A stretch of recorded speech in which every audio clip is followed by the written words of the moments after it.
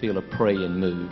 Would you bring to this pulpit through your prayers Brother Billy Cole from a missionary for many years in Thailand and now in Charleston, West Virginia. Welcome him with your hands raised in prayer. Would you do that?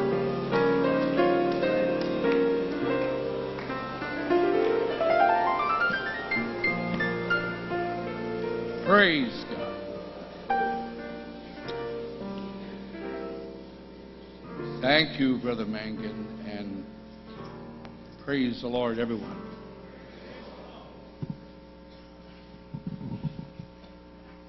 we have a very awesome, holy presence of God in this place.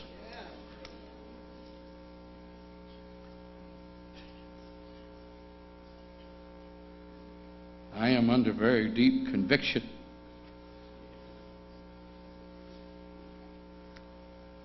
Can promise you that I do not desire to be here, except for the fact that it's obviously the will of the Lord for me to be here right now. And this, when I say here, I'm speaking of this pulpit. I certainly do thank God for the privilege of being in this conference and hearing what I have heard. We are in deep need of a tremendous move of God among us. Touch of the Lord. These are dark days, but we have a great God. I am concerned with everything that has been said already in this great conference especially on evangelism, reaching the lost. And I thank God for our hearts being stirred.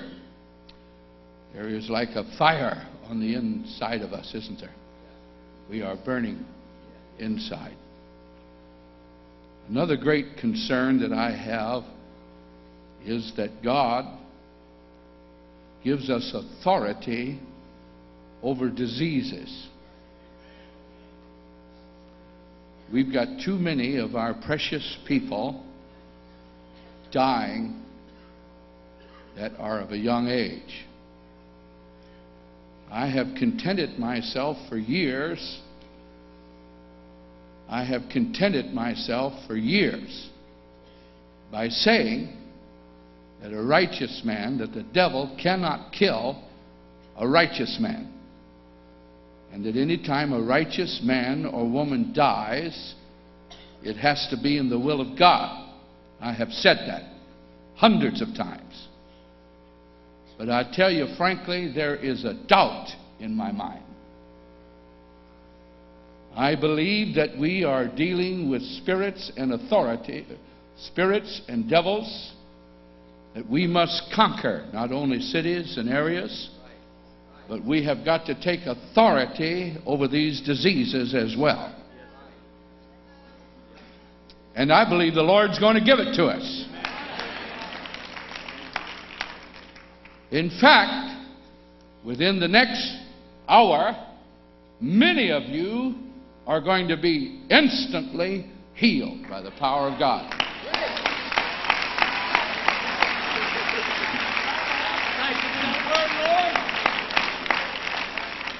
Not because I'm here, but because God is here.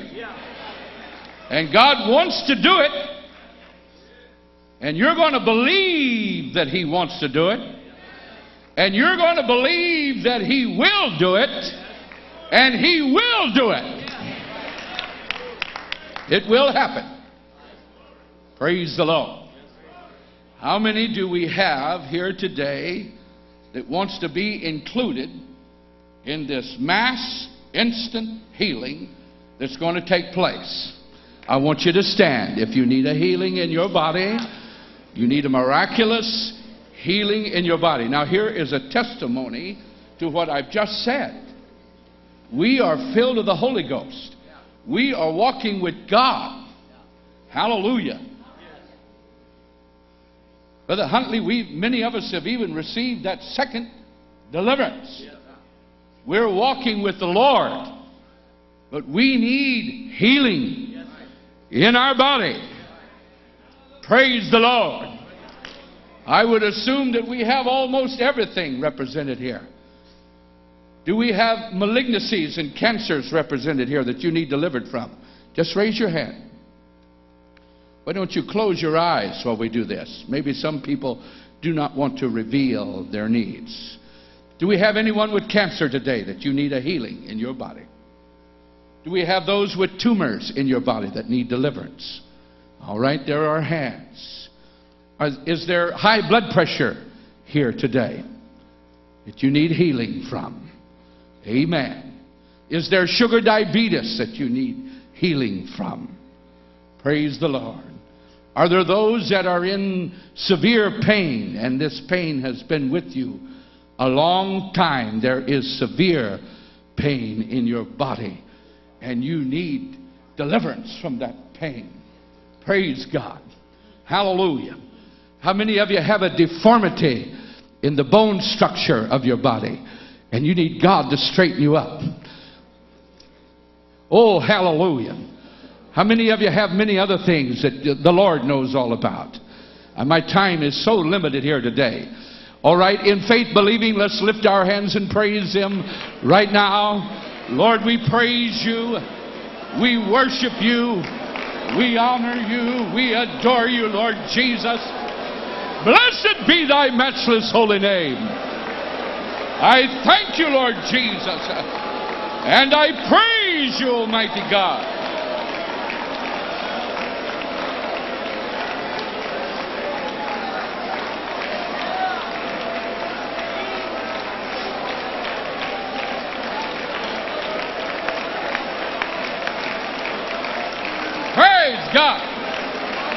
Let's just thank Him for His presence. Thank you for your presence, Lord Jesus.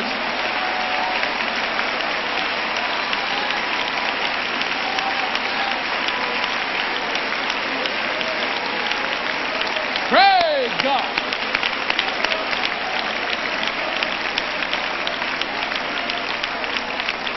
You may be seated. And I want you to be in prayer for me that uh, I will be sensitive to the Holy Ghost and that at the right moment when the Lord wants to do this miracle, that uh, I will be sensitive enough to the Holy Ghost to know that and make place for it. Hallelujah.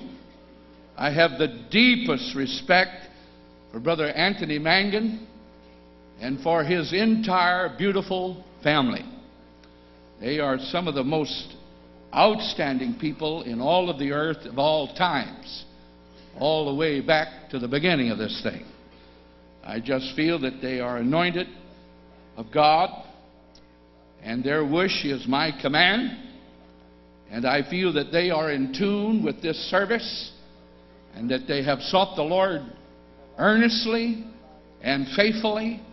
They have taken this extremely serious with all of them that have prepared for this meeting, both local church people and district people uh, of the Louisiana district, and all of you, that the sponsoring pastors. You have taken all of this with extreme, careful, earnest prayer. And it's uh, very uh, uh, easy for me to respond to their request and speak on intercessory prayer or spiritual warfare. However, I have spoken on this across the country more than a hundred times. The notes that I have here are not new, uh, they're very old. These notes were written in 1965, 25 years ago, and I won't be saying anything that I haven't already said. Uh, but that's all right, too. I uh, told my wife, I said, I have confidence in these folks. And when I got here, I had not looked at the schedule as to when I'd be preaching and who I'd be following and so forth. And when I looked at it, I called my wife and I said, My God, have mercy. She said, What's the matter? I said, I am absolutely miserable I said, if it wouldn't cause such an uproar I'd get on the plane five minutes from now and come home. I said, they not only want me to preach on intercessory prayer in uh, the church there in Alexandria, but they want me to do it after Brother and Sister Mangun has already spoke.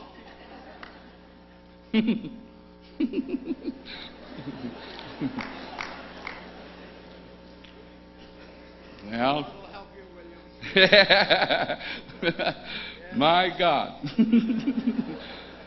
well, I'm going to do my best. I do believe I have the truth. I've been preaching it almost all my life, all my preaching life, nearly all of it. And uh, I know, I know where my wife is right now. I didn't have to ask her to. You can count on it. She's in the church in Charleston, West Virginia, and she's talking to God about this service. You count on that. Praise the Lord. Praise the Lord. Hallelujah. I'm aware that I'm surrounded by friends and both on the platform and in this audience, men that are much more noble than I, but uh, they and God has chosen me for this moment, so I'm going to do my very best in Jesus' name. Praise God. The world today is in spiritual darkness. And for the most part, they are aware of it. National leaders, international leaders, they are deeply aware that there are satanic and spiritual forces that seem to control. When they would do one thing, it would seem that other things happen of its own accord, out of their hands. But yet, we, the church, know what is happening. We know what is happening. God has revealed these things to us, and we are not ignorant of them, nor are we afraid of them. Praise God.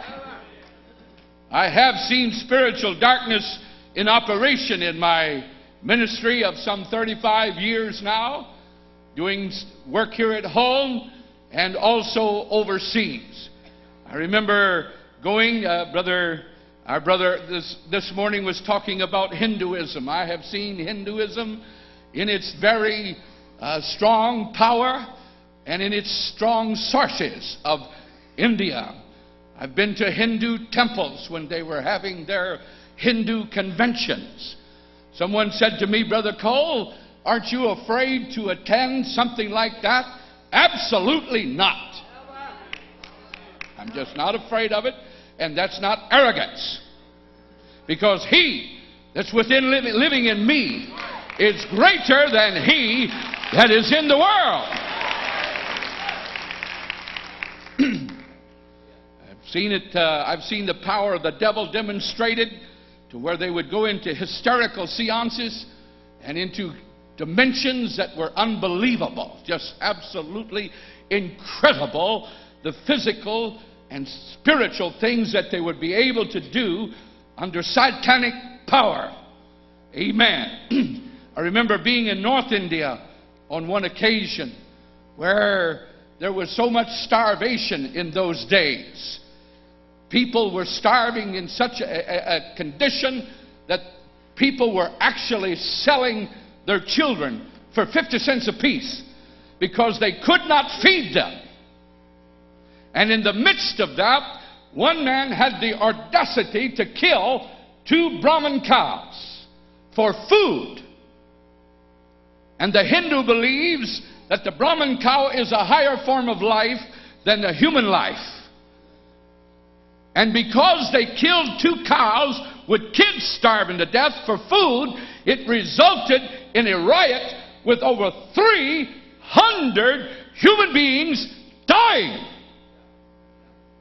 because they were disturbed over these two cows that had been killed. On another occasion, more recently, there was a Hindu uh, uh, train conductor had a whole trainload of people moving as fast as that train could safely go, and a Brahman cow run in front of the track.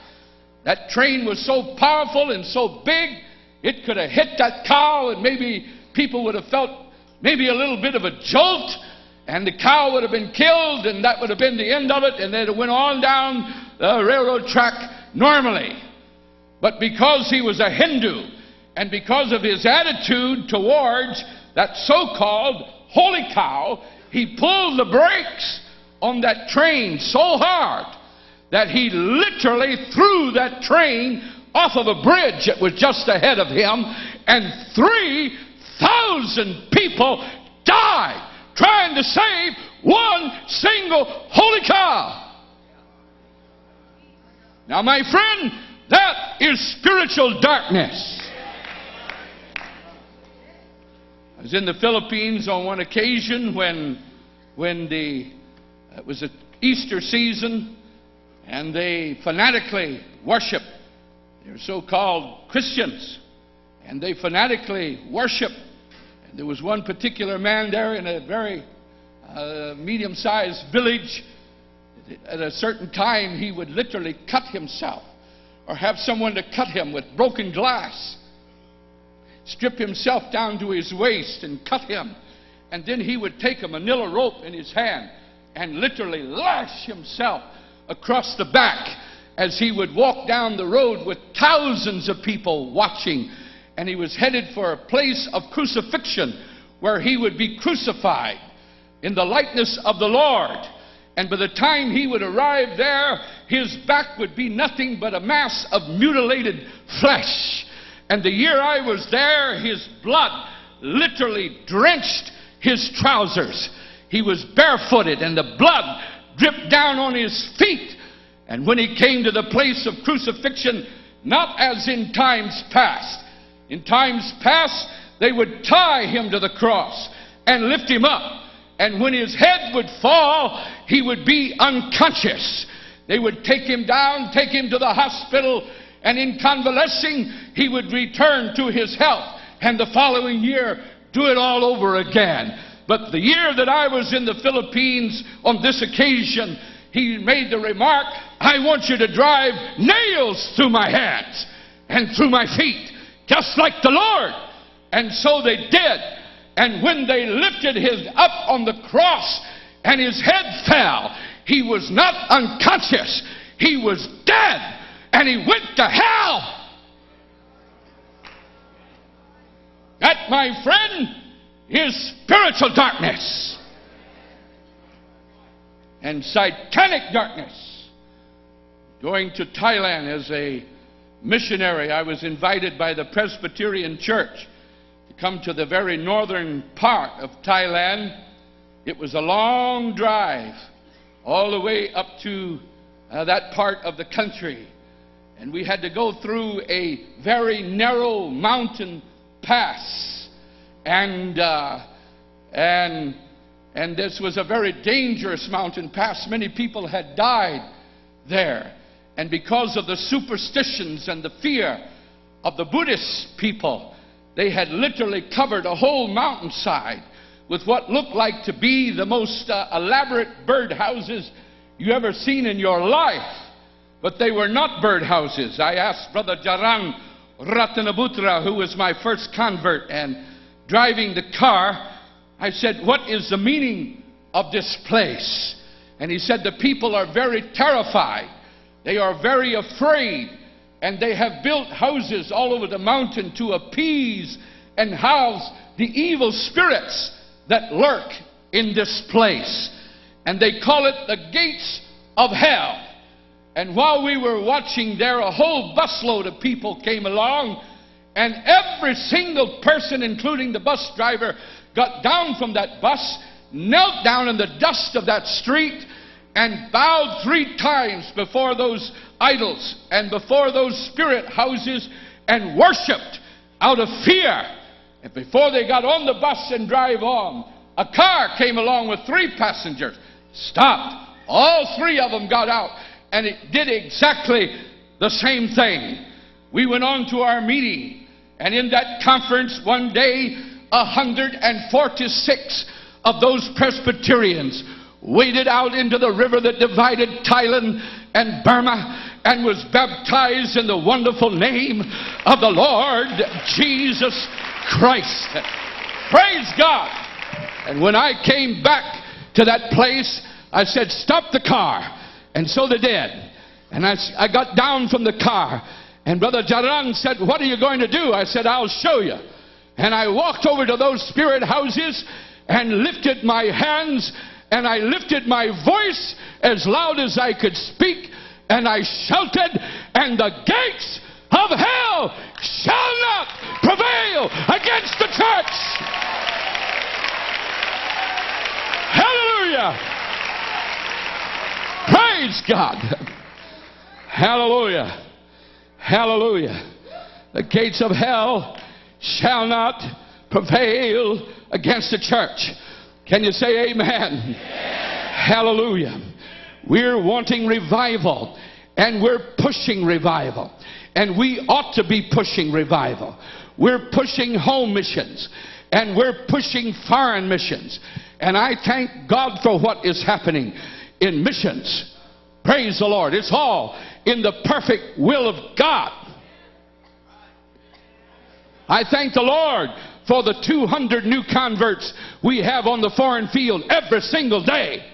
I thank God for the 20 new churches that is open every single week. I thank God that we have more than tripled in the last decade from a quarter of a million to over uh, to 900,000 constituents on the foreign field. I thank God for that. I thank God for every home missionary that is reaching out. I thank God for your bus ministries and everything you've been preaching about here. But let me tell you something. We're talking about the branch of the tree. You're talking about evangelism and reaching out. You're talking about the branch of the tree. And we're going to have to do something to hold that tree from falling. And that is to strengthen and to enlarge the root and the strength and the base of that tree. Someone said the base of this church is the United States of America. Absolute hogwash. That is coming out of nationalistic minds. We're constantly talking about the foreigners being so nationalistic. Let me tell you something. There's nobody in the world that's more nationalistic than the people that's sitting right in front of me. You are the most nationalistic human beings there are in the world. If you're an American, you're nationalistic. And America don't happen to be the base of revival. America don't happen to be the base of the church. Let me tell you what the root and the base is. It's the very thing that the Manguns has been talking to us about. It's what Sister Mangun was talking to us about up here. Prayer, talking to God. That's the thing that's going to hold this thing together. Praise be the name of the Lord God Almighty. Hallelujah. Hallelujah. Hallelujah. Hallelujah. Let's lift our hands and praise Him together. I worship you, Lord Jesus. And I adore you, Lord Jesus.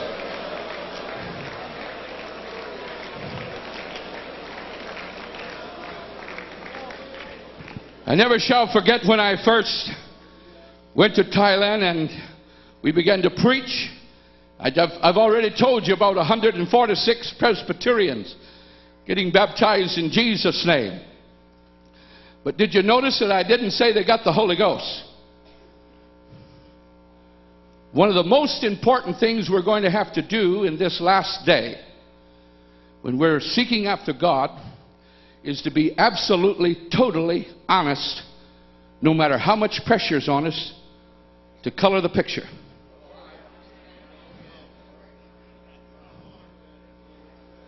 I was preaching the other day, and I said there are those that are against the use of the gifts of the Spirit. They're against everything that's spiritual. And every time you do something spiritual, they shake us up in a bag with the charismatics and try to embarrass us and humiliate us. I'm tired of that. I'm sick and tired of that. But I'm not going to let them stop me.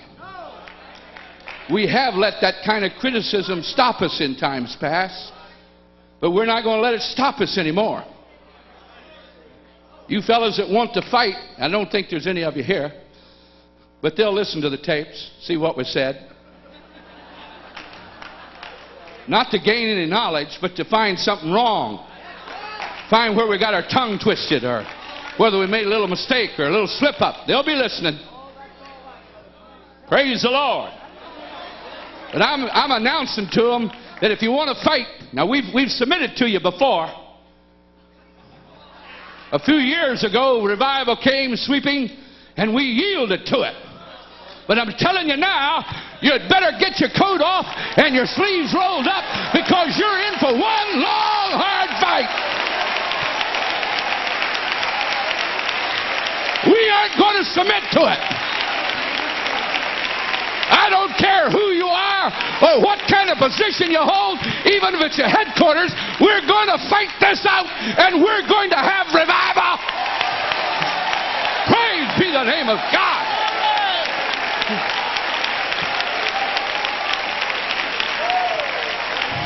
Praise God. Yeah. I've never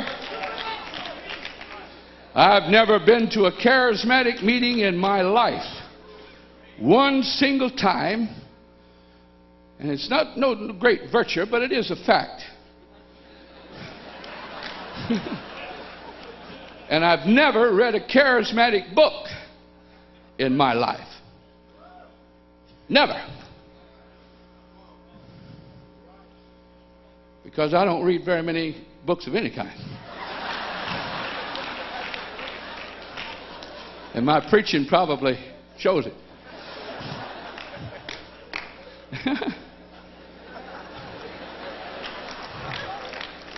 but you know what? These fellows that don't want what we're here seeking for, they're going to hurt us a little bit. But you know who's going to hurt us great big? The kind men among us.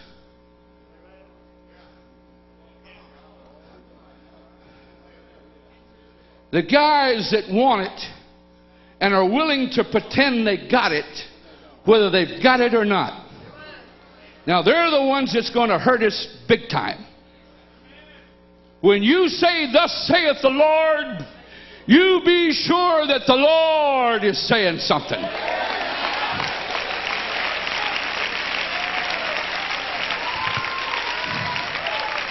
When you lay your hand upon somebody and said, God shows me, you be sure that some preacher didn't tell you in the office before you went out there.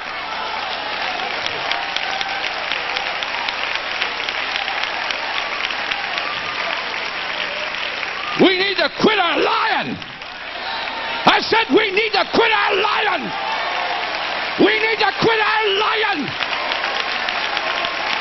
God will give us the real thing if we'll seek for it. Don't accept the substitute. Don't accept the substitute.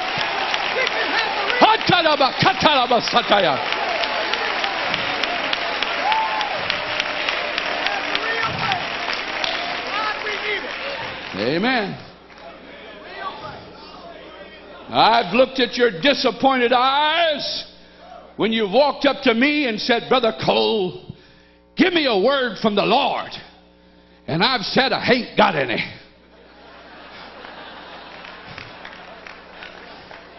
And that's the answer you're going to get when I don't have one. But when I do have one, I don't care who you are, I'm going to look you straight in the eyes and give it to you.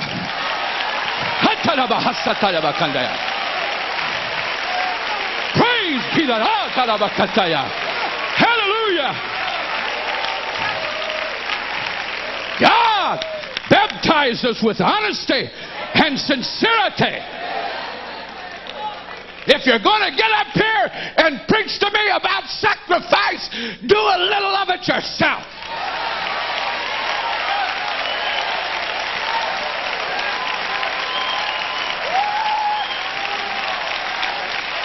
Don't tell me what your relation's doing. Tell me what you're doing. Bless God.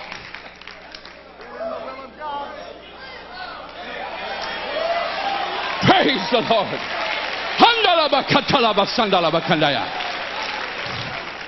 We're living in challenging days. Oh, praise God. God's going to give us a massive move of His Spirit. Hallelujah. And we're going to have to take authority over demons, powers, and spirits. But we're also going to have to be honest before God. I keep telling the church I pastor, we're practicing. We're practicing. That means you'll make mistakes. That means you'll make mistakes. You know the reason why preachers and saints of God bluff it when they make a mistake? Because you'll tear them to smithereens if they do, and you find out they made a mistake. You'll tear them to shreds. They don't have a dead man's chance from that moment on. It'll be the gossip of the UPC from California to New York City. Every camp meeting you've got will be canceled.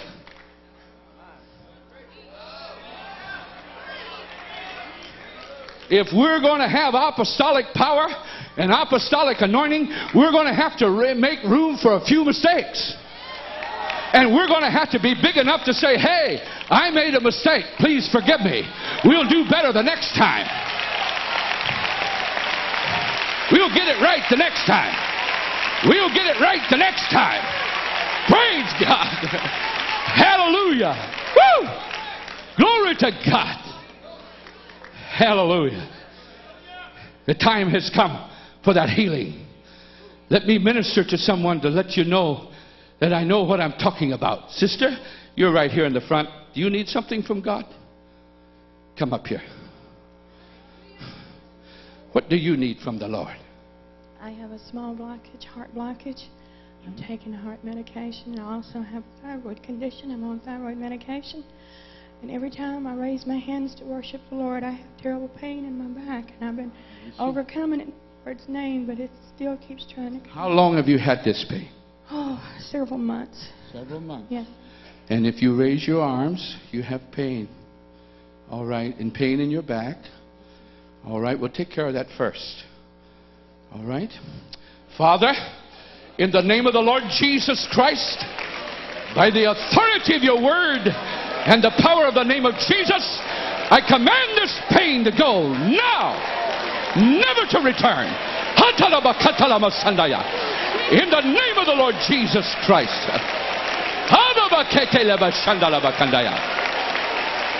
Hallelujah. Praise the Lord. Thank you, Jesus. Thank you, Jesus. Hallelujah. Hallelujah. Hallelujah.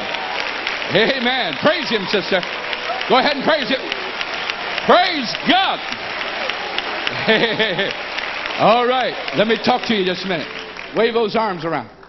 You feel any pain? None at all? All right, we'll take care of the rest of it. Father, I speak healing into her body. In the name of the of Jesus Christ. Hallelujah. Praise be the name of the Lord.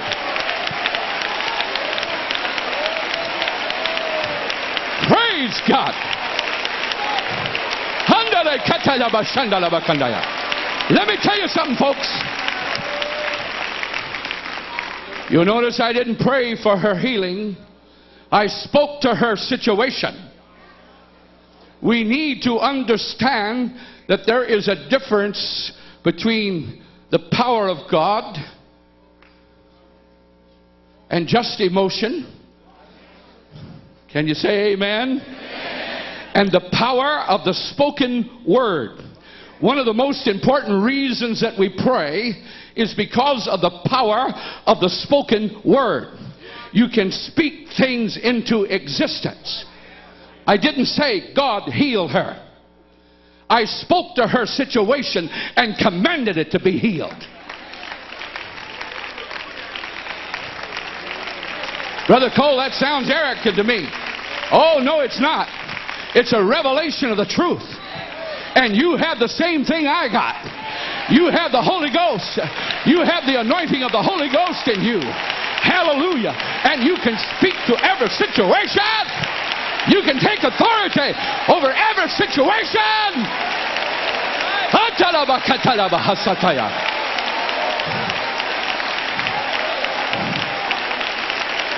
We've got some young men that's coming up that has recognized this, that is being mightily used of God.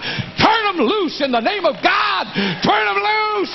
Let them do the good work of God.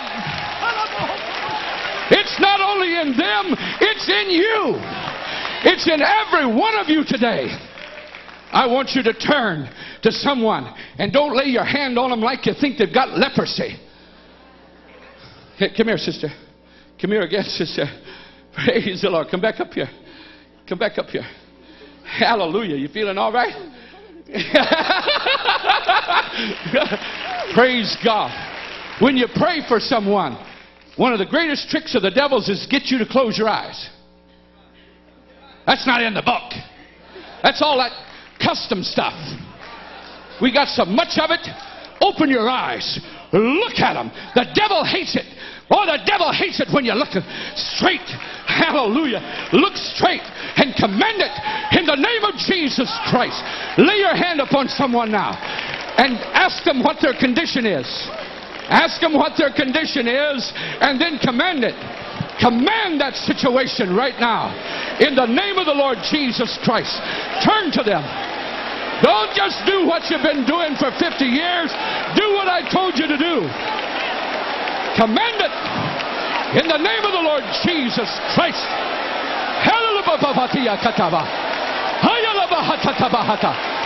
Do it, Lord Jesus. Do it, Lord Jesus.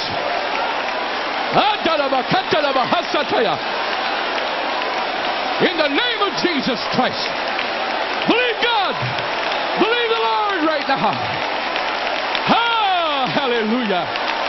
Thank you, Jesus. Thank you, Jesus. Thank you, Jesus. Glory to God.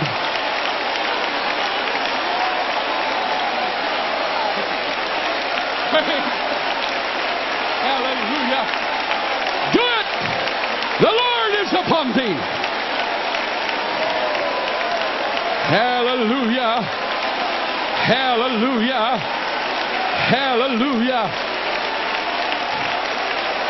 Praise God. Glory. Thank you, Jesus. Thank you, Jesus. Thank you, Jesus. Thank you, Jesus. Thank you, Jesus. Thank you, Jesus. Glory to God. Praise the Lord.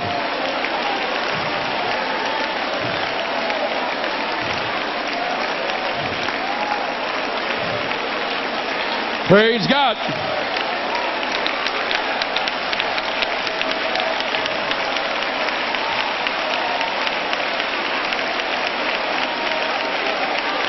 Thank you, Jesus.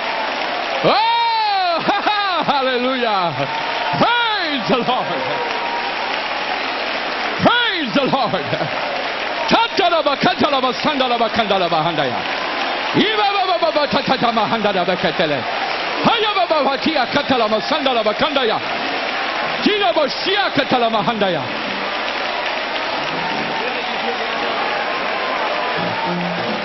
Praise be the name. Thank you, Jesus. Thank you, Jesus.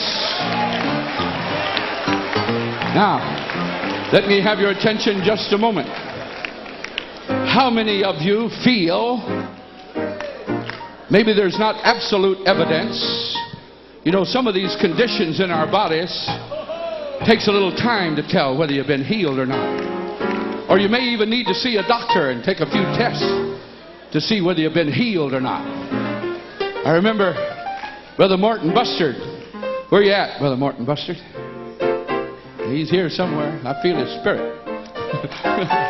I don't see him, but I know he's here. All right. He visited me, and when he came, I uh, had just been told by the doctors that I had a tumor in my body.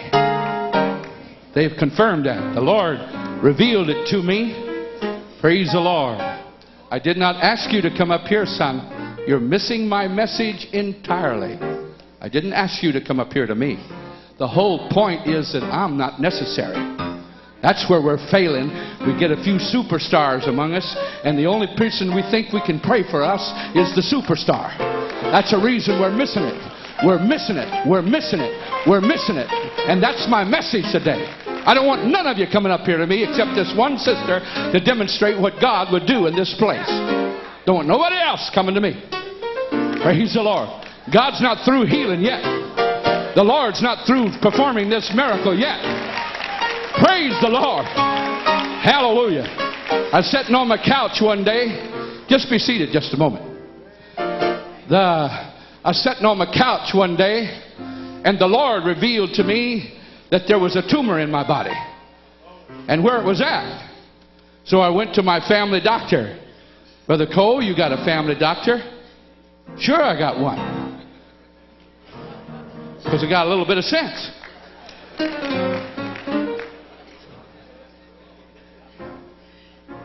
You don't have to preach against doctors to believe in healing. You don't have to get up and ridicule them when you testify either. They have their part in the kingdom, same as the preacher does, and the people of God. Praise. I can't believe I'm doing this in front of you, Brother Tom Barnes. My God, have mercy. he said it was the Lord, so I'm going to go ahead. Praise the Lord. Don't you love that good man of God? He's been so humble among us. Give him a hand. Give Tom Barnes a hand. Praise the Lord. Hallelujah. I went to my doctor and I said, I got a tumor. He said, How you know? I said, You wouldn't believe it if I told you. Just check me and see. He said, Well, where do you think it is? I told him right where it was at. He checked me and he said, Sure enough, it's there. So they sent me to a specialist and he confirmed that it was there. And he wanted to take a biopsy of it, you know. And that was all right too. You know, it's good for you to know what you're praying about. Your prayers are a lot more effective when you know what you're praying about and, and you speak to these situations. Control them. There's power in the spoken word. Jesus said, Say to the mountain. Say to the mountain or speak to the mountain. And so, so I went to the, had to go to the hospital in order to get a biopsy, and they're going to put me under general anesthesia, and uh, called in an anesthesiologist, so forth. And I told him, I said, now this could be a problem because of my neck structure. You may have trouble, so you be cautious, you be alert. And he put me unconscious.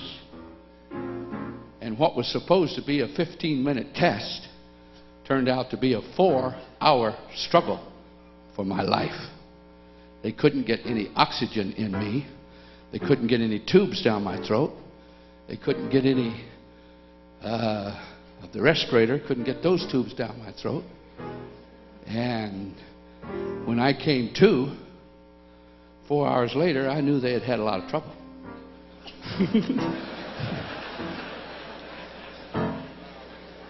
and they had got my lungs full of blood got my lungs full of blood, and I come mighty near drowning on my own blood.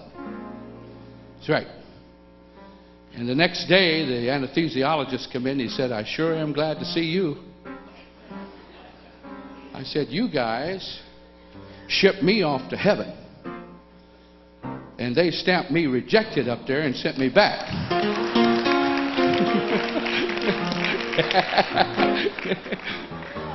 he said, Reverend, we sent you many times. We've sent you many times. My wife was sitting out in the waiting room expecting a 15 minute test. And after two hours, they came out and said, Mrs. Cole, we're doing everything we can, but we're losing your husband. He's gone. We're trying to get him back. We're trying to get him back. Well, after a couple of days, that blood cleared up out of my lungs. And I went home just a little bit shaky, but I was all right. And later they want to do that test again. I said, nothing doing.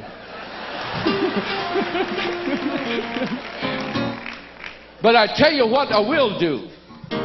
I'll let you check to see if it's still there. He said, That's crazy. I said, No, it's not. We just had revival meeting. Evangelist prayed for me, told me I was healed. Now, listen, folks, when you tell people they're healed, they better be healed. Or the pastor's going to have an awful lot of trouble after you leave. We have to live with these people. I tell you, we have to live with these people. I believe in that. I told you people is going to be healed here today. And I'll stand on what I said because God inspired me to say it. Did God inspire me, Brother Barnes? God inspired me to tell you that there was going to be many here healed today. I'll stand on that. But when you tell people they're healed, and then you bury them three days later, the pastor has to bury them three days later, he has to answer an awful lot of questions. Now, folks, we're going to have to be, we're going to have to, in our search for the gifts and the powers of God, we're going to have to maintain the right kind of an attitude and mind toward the Lord and not get drunk on this. Not just get completely drunk and carried away and get way out in left field somewhere. Is that all right? Well, he wanted to, he wanted to take another biopsy. I said, No, no, no, my dear friend. You're never going to do that. Never again. You're not going to do that. Never. You've had your one last chance. But I will let you check to see if it's there. And they did. Because the evangelist had told me it was gone. And I didn't just take it for granted it was gone. I went to verify it. If you've got sugar and you believe you're healed today, go get a sugar test. If you've been healed, that sugar test will prove it. Don't be an idiot. Don't be idiots.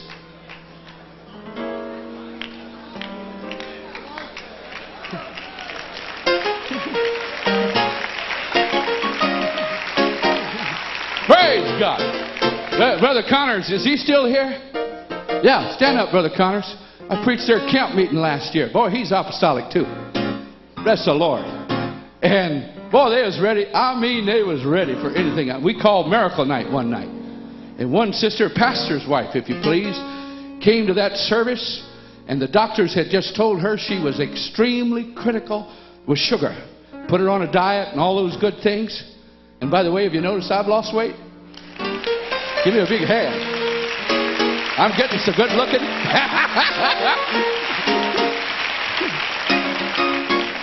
I've lost 150 pounds.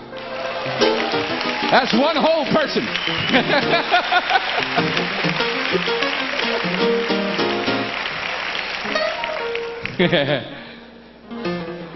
she believed that night, for the Hodges, that she was healed. And got up and told the whole church.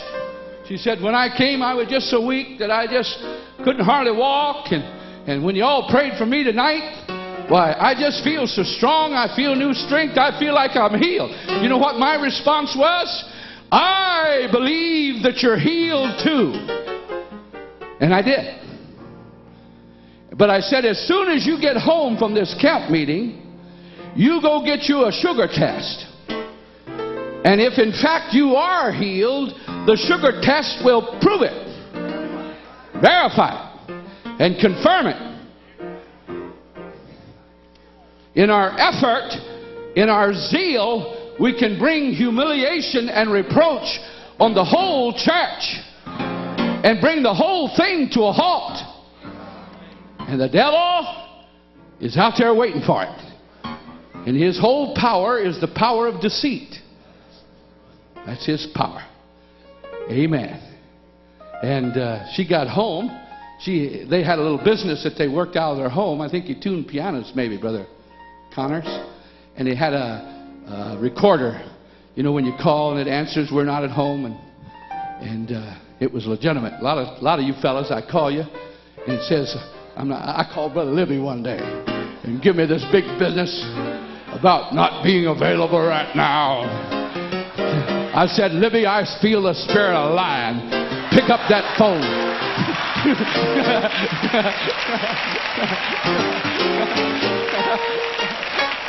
he grabbed the phone up. he was listening all the time.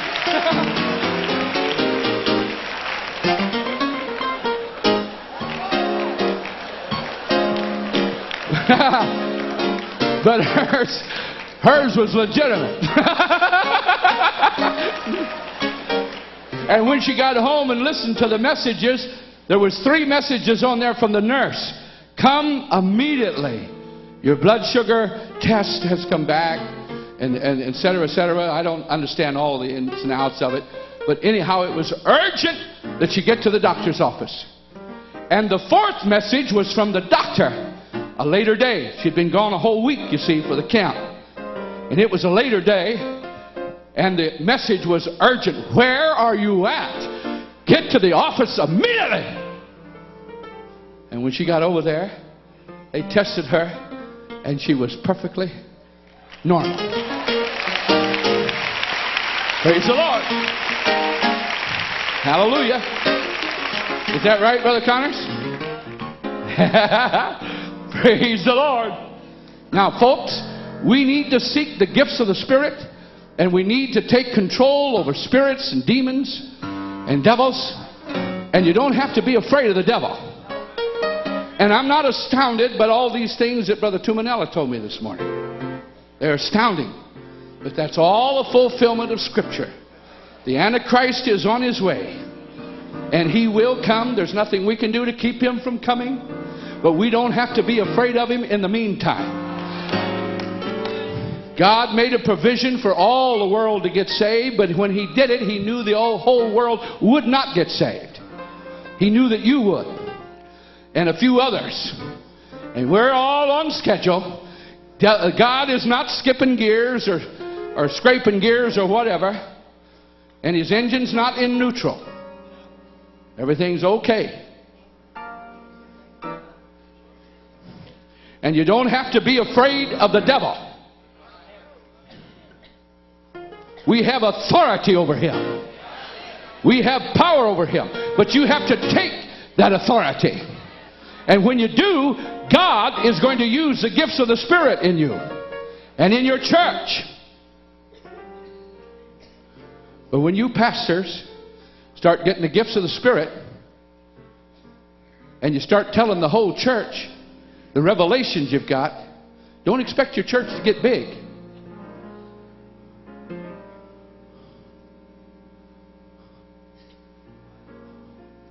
You're going to have to use a little bit of wisdom.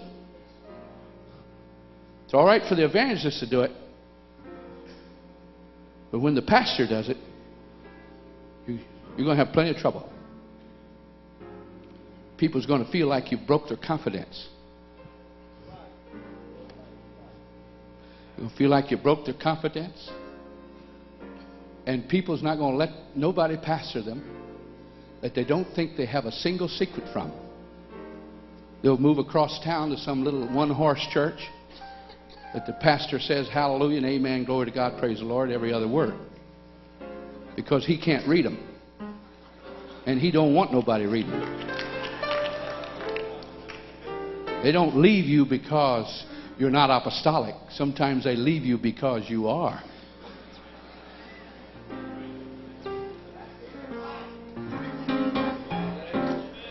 Just mark it down when you're living right and doing right and being anointed of God.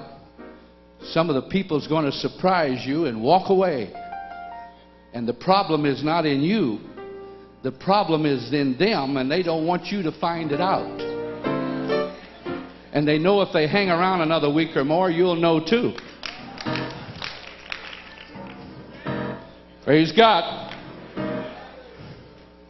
I never forget when a deacon didn't show up for Sunday morning. That wasn't unusual because sometimes his work uh, kept him from church. But I felt alarmed. I felt very alarmed. So I called him, and he read me the riot act.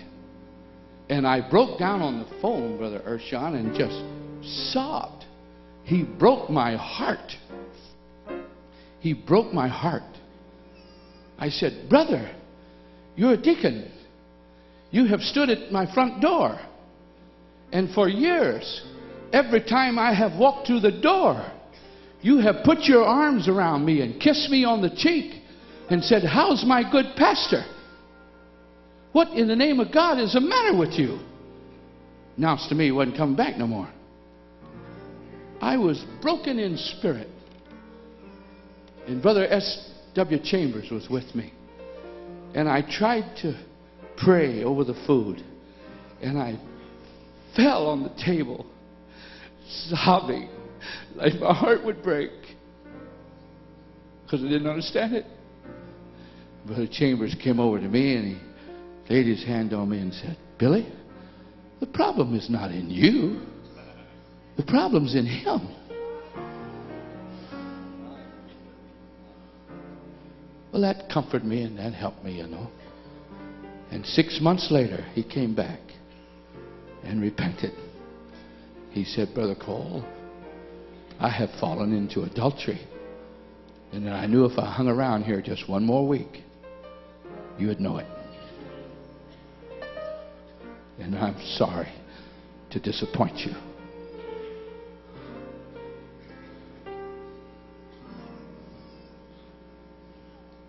Praise the Lord. Well, this is kind of a shotgun message.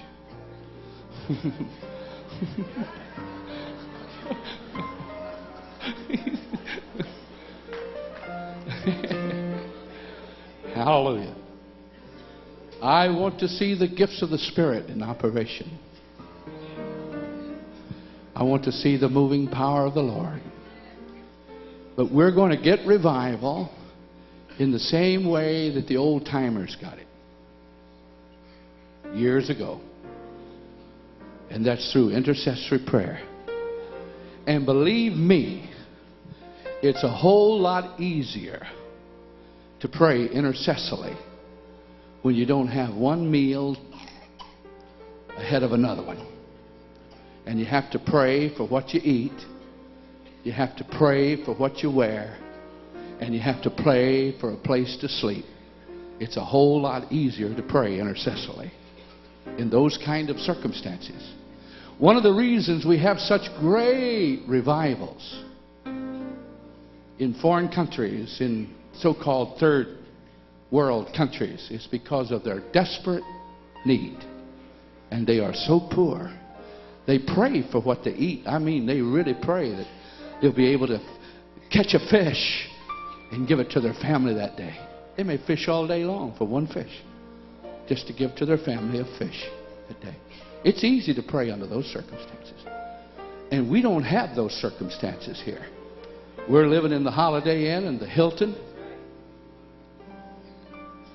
We're driving fine cars. We're wearing fancy suits. We don't have to pray for a lot of things. And we get the idea that we can accomplish the will of God with the excess of our affluence. And it's not going to work. It's not going to work. Only intercessory prayer will work.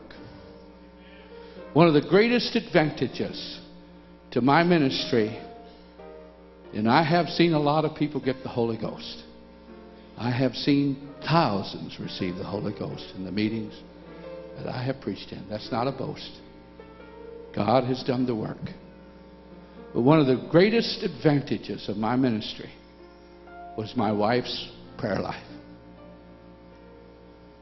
daily. I didn't know as much about it as I should have known. I could have protected her a little bit more.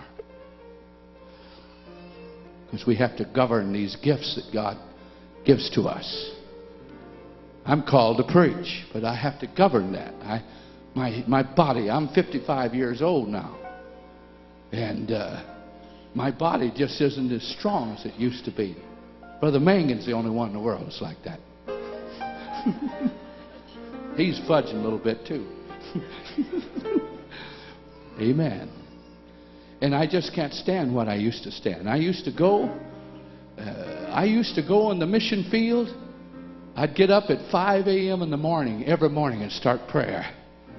And then we'd have our first service. It'd last three or four hours. And then we'd get in an old jalopy car of some kind and bounce all over kind of roads and, and eat, the food on the way there and have to swallow it three times because it was so rotten and because the, the roads were so rough. And we'd have service in the afternoon and then do the same thing over and go to another church at night. And then sleep on their platform and sleep on their benches. I've done it many times. I can't do that anymore. I'm not physically able to do that anymore. I did last year travel, besides pastoring. I traveled over 200,000 miles and I preached 253 times last year. And this conference has made me feel so guilty. I just feel under conviction because I'm so lazy. But on the other hand, let's turn the coin over, and you have to govern these gifts a little bit because dead men don't preach.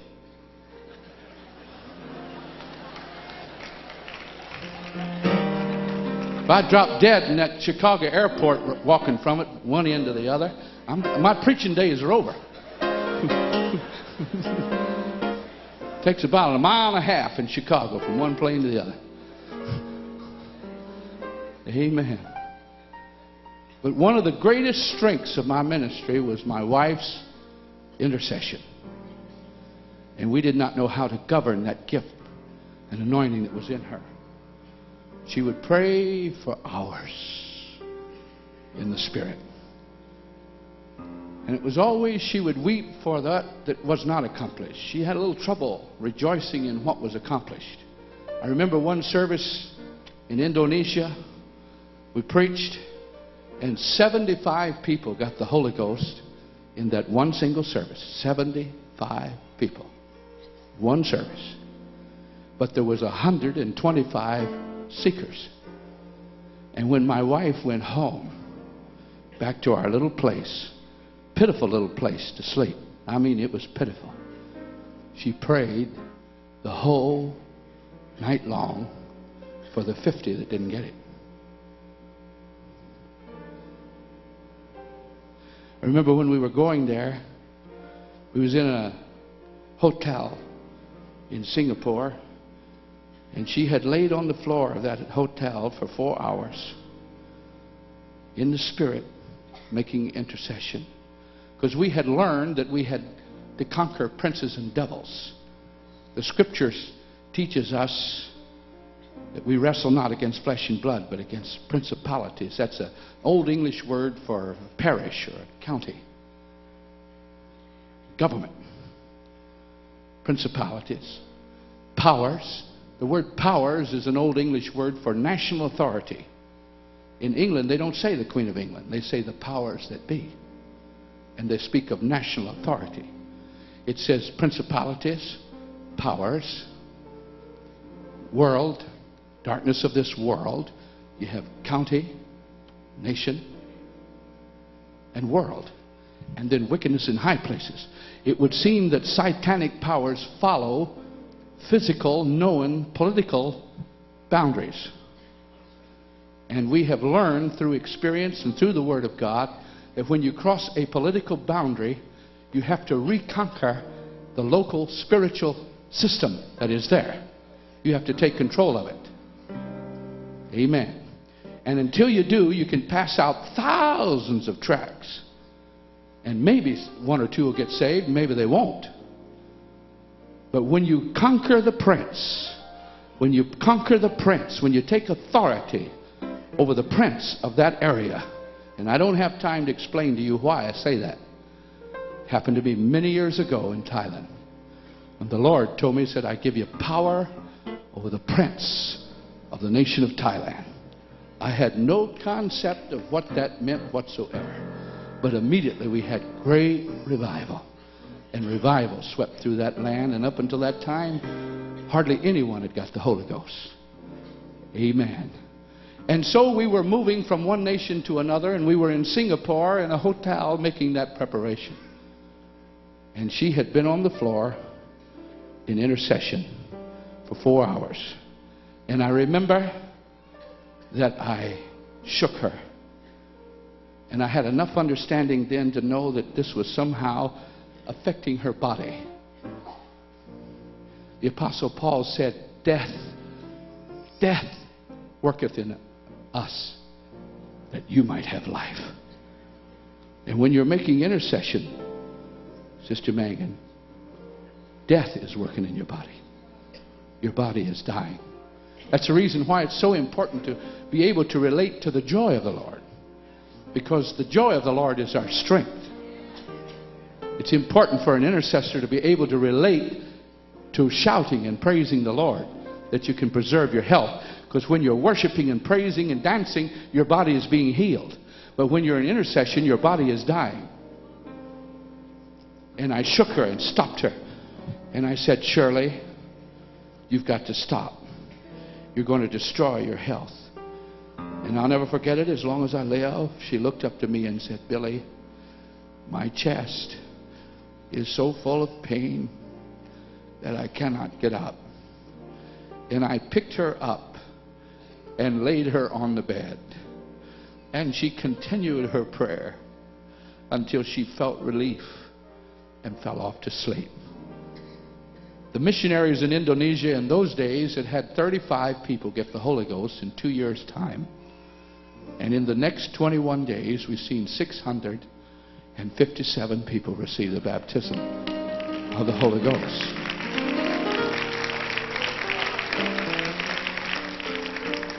Now, I'm not bragging on myself, I want to make a point. And while we were there, suddenly something snapped within Shirley's body. And every time her head would move, she would, she would go unconscious.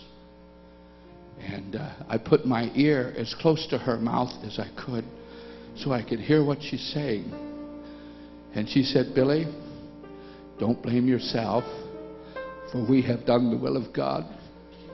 But I am dying. I am dying.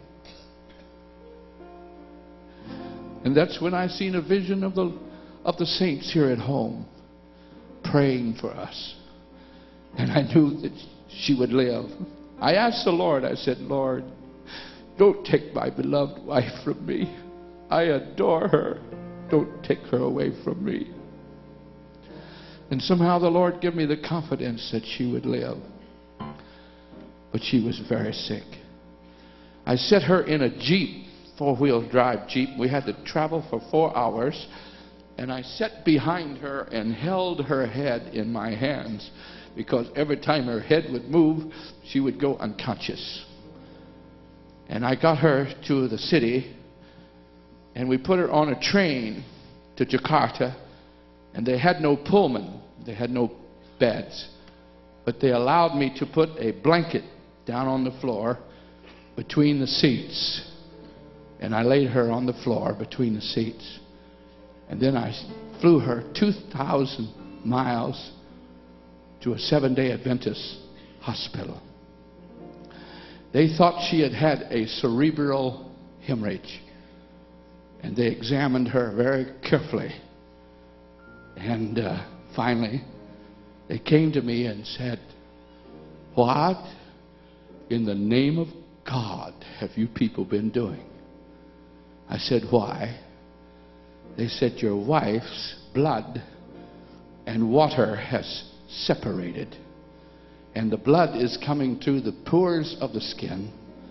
And your wife is dying of a broken heart.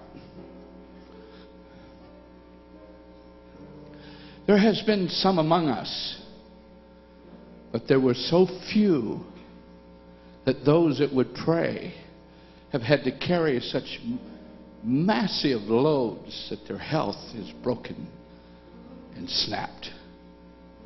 The scripture says that even the earth groaneth. You know why? Because we're not groaning. So that's the reason we're having the earthquakes and the hurricanes and the storms, is because we're not groaning. So the earth has to groan. Amen. And there's young people here today. My wife will pray today, and her health has recovered. It has taken her many years to recover her health. And she will pray, but she cannot pray like she used to pray because her body will not tolerate it. But there's young men here today. And there's young women here. Your bodies are strong. Shirley needs somebody to take her place. Sister Mangun needs someone to help her take her place. And some of these other folks. And God is speaking to our hearts here today. God help the pastor that doesn't have somebody to intercede for him. God have mercy on you. That's all I know. Just God have mercy upon you if somebody doesn't care enough to pray intercessively. Someone needs to be praying intercessively for our general superintendent every single day. Somebody here in this audience is willing to do it. I want you to stand. Now, listen to what I'm asking you to do. I want you to intercessorily pray consistently for our general superintendent. I want you to stand if you're willing to do that. Someone here, God bless you, one of our missionaries. Somebody needs to be praying for this man. He carries a tremendous load in this movement. His shoulders are not a little stooped accidentally, nor is this hair gray prematurely without cause. Somebody needs to be bearing this man up in intercession besides his family. Is someone here willing to stand and commit yourself? There you are. God bless you. Don't forget now, every day, Brother Tenney, and every pastor in this place, every pastor in this place needs somebody make an intercession for them. We've got enough critics. We've got enough people finding fault with every little thing we do. Every time the evangelist comes along, there's enough people to find fault with the little mistakes they might make. Just find fault with them and criticize them to the high heavens. Every breath they breathe. We got enough of that. But let me tell you, if we could get more of you making intercession for these preachers, you're going to hear better preaching. You're going to see better demonstration of the power of God. You're going to see greater revival and greater services. Now then, I know it's 3 o'clock already.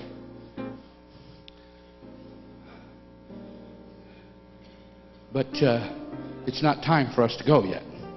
Is that all right? Now, the Lord wants you to do something. We had a little prayer here a while ago.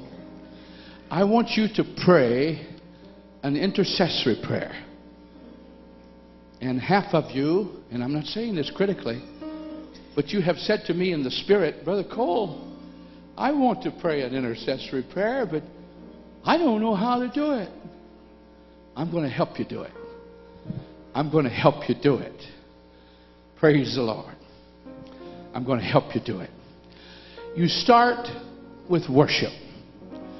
Anytime you come into the presence of the Lord, you always come into His presence with worship and praise. Come into His worship with worship and praise and adoring the Lord. Praise God. And then move into the dimension of tongues. just start speaking with tongues. Now, you must understand that there are many dimensions of speaking with tongues. That's what happens a lot of times in services when someone speaks out and you think, oh, they've given a message and there is no interpretation. What happens a lot of times is people get inspired because of what the preacher has said or because of the song, and so they speak out. That's a tongue of inspiration. And when that happens, if you recognize it, just simply say, This person was inspired in praising the Lord. Let's all praise the Lord and go ahead and have church. It, you don't have to fall apart when something like that happens. There's a tongue of a message. There's a tongue when there's a message. And it has a distinct different sound. It's just like uh, when a baby cries. You can't fool its mother. When that mother hears that baby cry, she can almost tell you exactly what has happened to that child. She can tell you if that child's hurt. She can tell you if that child is sick. She can tell you if that child is just having a temper tantrum and spoiled and wanting attention. She just knows it's all crying, but to the mother that has the sensitive, trained ear, that cry, there are different cries. And so there are different tongues. And so when you start speaking with tongues, that is not intercession. In fact, you can intercede in your own language. Even in English, you can intercede. The problem is, when you speak in your own language, you're praying about your burden. And when you pray in the Spirit, in other tongues, you're praying about His burden. And they may not be the same burden. They may not be the same burden. And so you have to let the tongues move deep into your spirit. Praise God. And it will move down. And then it must be associated with a tremendous compassion and burden for something. And when that burden merges with the tongues, it will go very deep into your spirit. And it'll be like the travail of a woman with a child, it will actually, you will actually feel it in your body.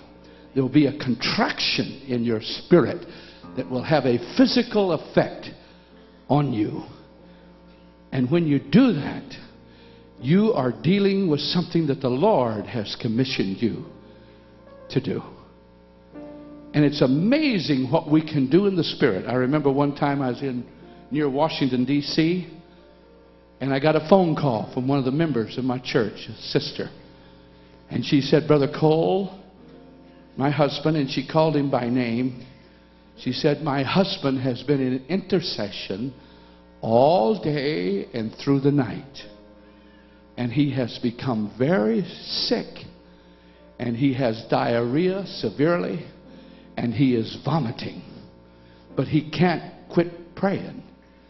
I said to her, I don't know what he's got a hold of, but you can be sure that he's not praying about somebody's headache. This is a serious situation. And I will help him. I don't want to sound mystic to you, but you can join someone in prayer. I was hundreds of miles away, but I said, I will join him in prayer and help him with this situation. And I did. And a couple of hours later, I got the phone call the burden has lifted. What did that man accomplish that day? I don't know. And neither do you, and neither does he. But he's insignificant. If I would call his name today, nobody here but three or four would know him. As far as you're concerned, he's a nobody. But I wonder what the Lord's going to tell him when he gets to heaven. I wonder what he has accomplished. I wonder what nation he has saved. tremendous tool, tremendous tool that God has put to our hands. Praise the Lord. I want you to remain seated right where you're at. You keep telling us to get down on our knees And when we do, all we can think about is our knees that are hurting. That's not scripture. Sit and pray. Hallelujah. You can sit right where you're at and let's talk to God. Will you do it? And I'm going to come and help you. You intercessors, this church is full of them. You preachers that feel anointed of the Lord, I want you to move among the congregation and lay your hands upon people as the Spirit of the Lord begins to move upon them. And we're going to help you to reach a depth of intercession. Let's reach it. Let's pray.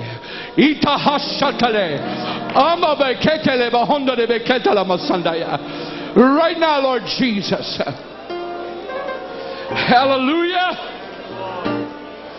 Hallelujah. Hallelujah. Hallelujah. Jesus, speak to us just now, Lord. Touch our spirits. Our bodies are tired. We have sat here for six hours, Lord, but give us just a little taste. Give us a little taste. Give us just a little taste of the depth of intercession before we go today. In the in the name of the Lord Jesus Christ. Hallelujah. That's it. Now, move into the dimension of speaking with tongues. Begin speaking with tongues and let it associate, let it merge with a burden. Many of you are already to that depth of intercession. There are hundreds, there are literally hundreds of you that have already reached the depth of intercession already. Praise be the name of the Lord. Now, as that moves deep into your spirit, let the burden let the tongues move very deep into your body and into your spirit. Itahashaya. Yato Yandere Kaya Mosia Daya Hadaya. Hayala Bohundere Kaya Masadaya. Itala Mosheketele Ondoro Koya. Oriandolo Ya Yasia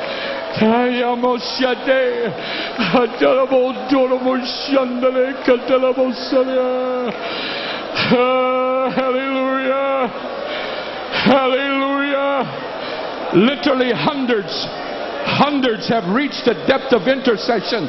Already tune yourself in. Make yourself available. Say Lord I want to practice what they're talking about. I want to experience that Praise be the name. You brethren, please take your liberty. Brethren, take your liberty. You women, take your liberty and go and minister to some of these. You that are experienced intercessors, move about. Lay your hands upon someone. Lay your hands upon them and minister to them and help them to reach a depth of intercession right now. Praise be the name of the Lord. Hallelujah. Hallelujah. Hallelujah. Hallelujah, hallelujah, hallelujah. Glory to God. That's it. Just lay your hands upon someone right now as you feel led of the Holy Ghost. Praise the Lord. Praise the Lord. Praise the Lord. Praise the Lord.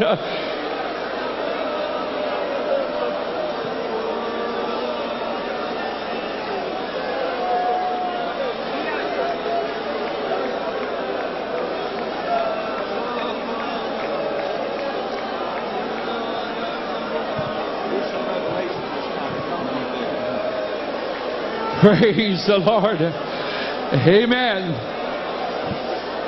In the name of the Lord Jesus Christ. Amen. That's it. Beautiful. Absolutely beautiful.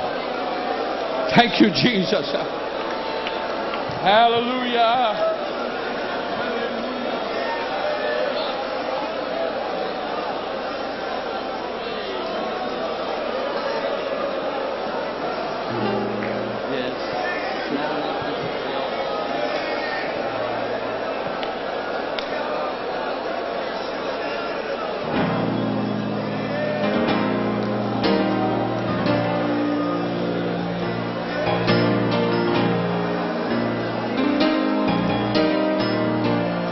To get up and minister to someone if you feel impressed of the Holy Ghost to do something. Just get up and move and lay your hand upon them and help them to reach a depth of intercession. Help them to reach a depth of intercession. Someone that's faith is inspired. Come and lay your hand upon this young man here.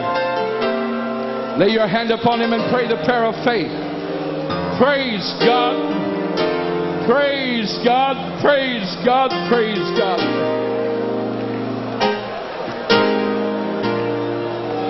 Hallelujah. Hallelujah.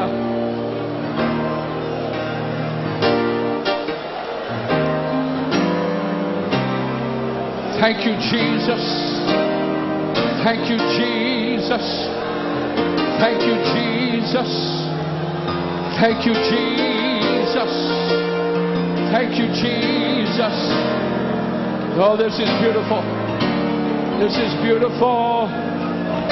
Praise be the name of the Lord. Praise be the name of the Lord.